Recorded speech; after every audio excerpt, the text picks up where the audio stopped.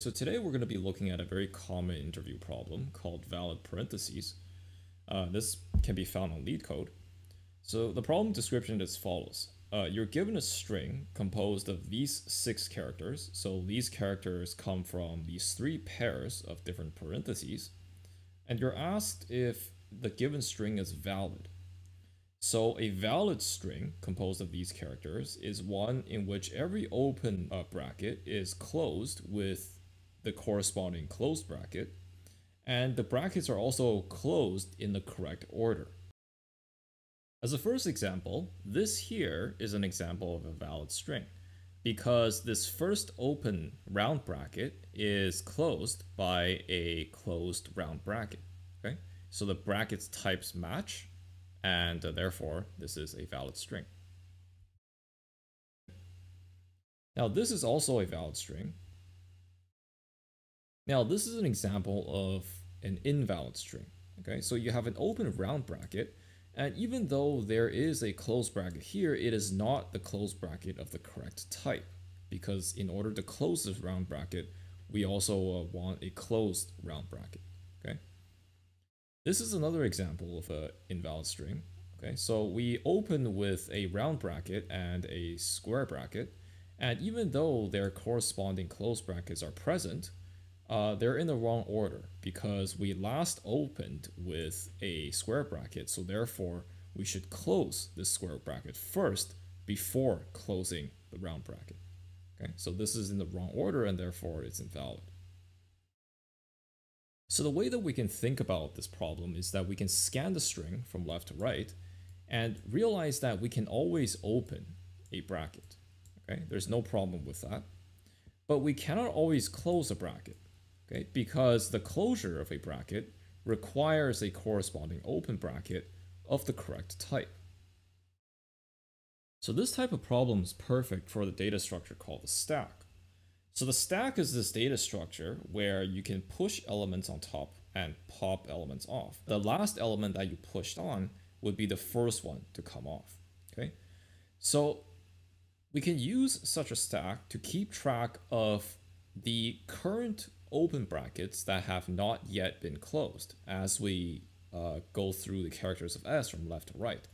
And the stack will keep track of these uh, yet to be closed open brackets in order from the bottom to the top as we go from left to right in S. So for instance, if the top of the stack had this open uh, round bracket and we encounter a closed square bracket, as the current character in S, then we know that uh, this string cannot be valid because this open round bracket ought to be the first one to be closed.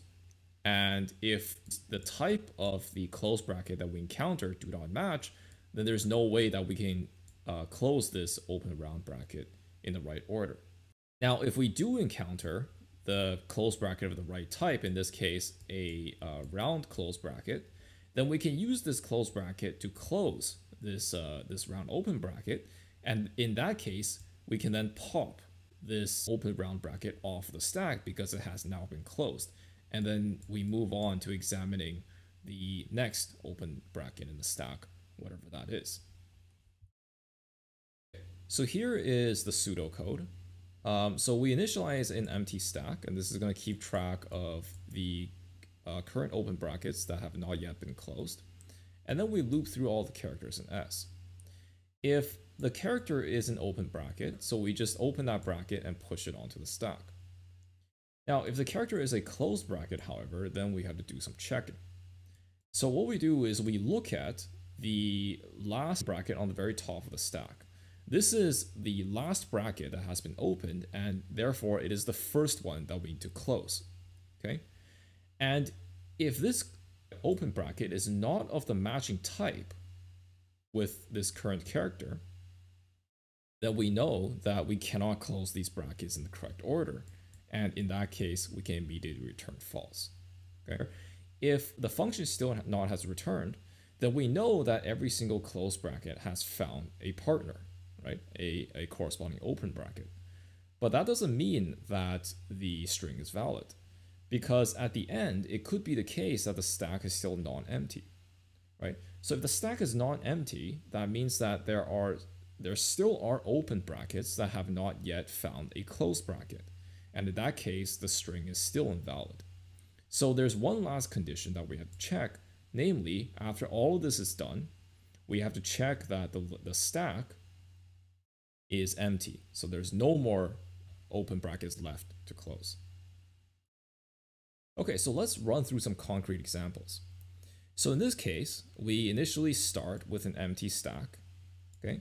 And we look at this first character, which is a round open bracket.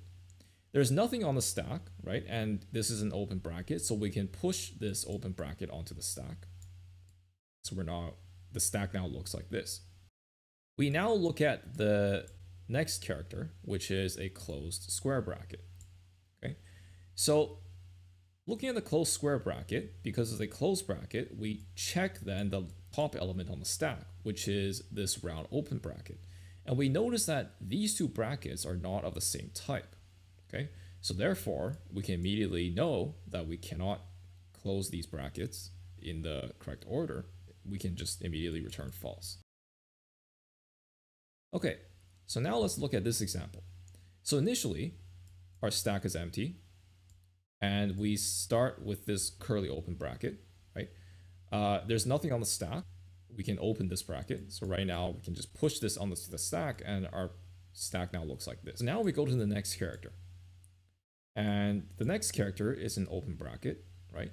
Uh, once again, we're allowed to open brackets. So we can now push this open bracket on the stack.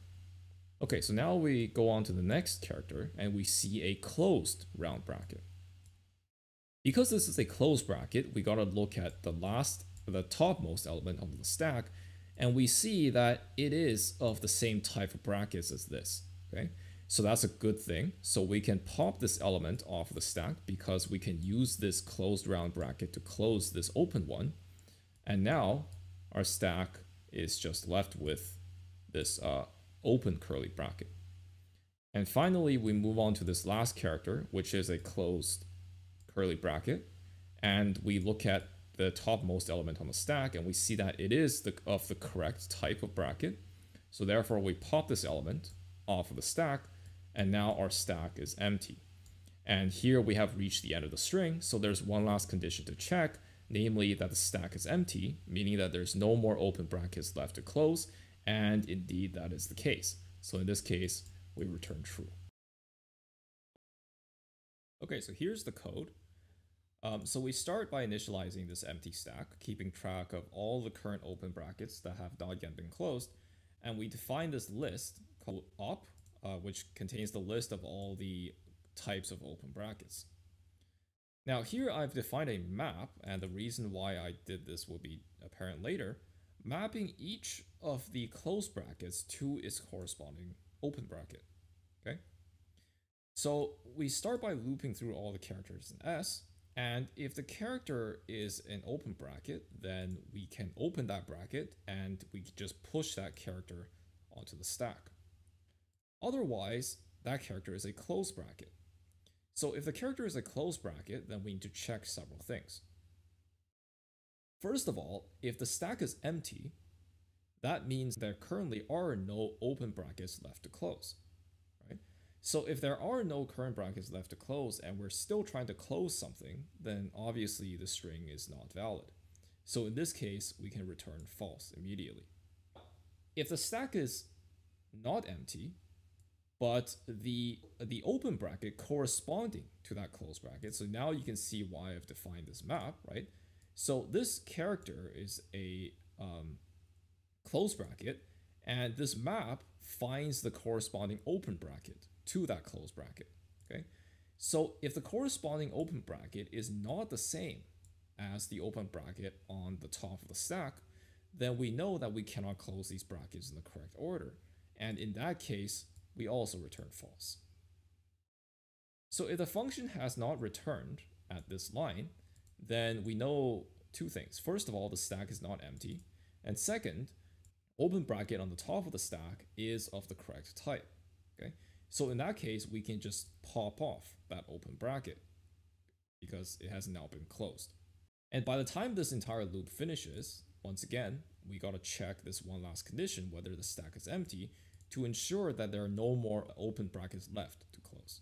And if that's the case, then we return true, and this is a valid string. All right, so let's run this.